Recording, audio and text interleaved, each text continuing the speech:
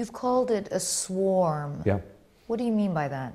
Well, you know, up to uh, let's say um, uh, a year, two years ago, you could see that um, uh, the groups of jihadis, the various groups that you had, they had one leader, uh, and there was what you could call a, a kind of vertical communication.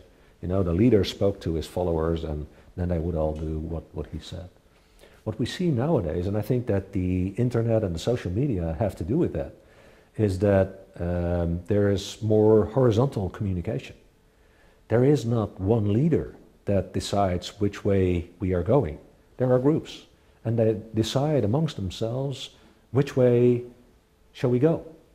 Uh, although the final direction uh, is still pretty clear, and that is we want to have the caliphate, we want to move to Syria. So what we see now is what you could call in, in group dynamics swarming, or the, the, the, idea of swarming, where many individuals, um, without a visible leader, actually lead themselves and decide on themselves which way they go. But if you take everything uh, together, uh, the amazing thing is that they all move to the same uh, direction.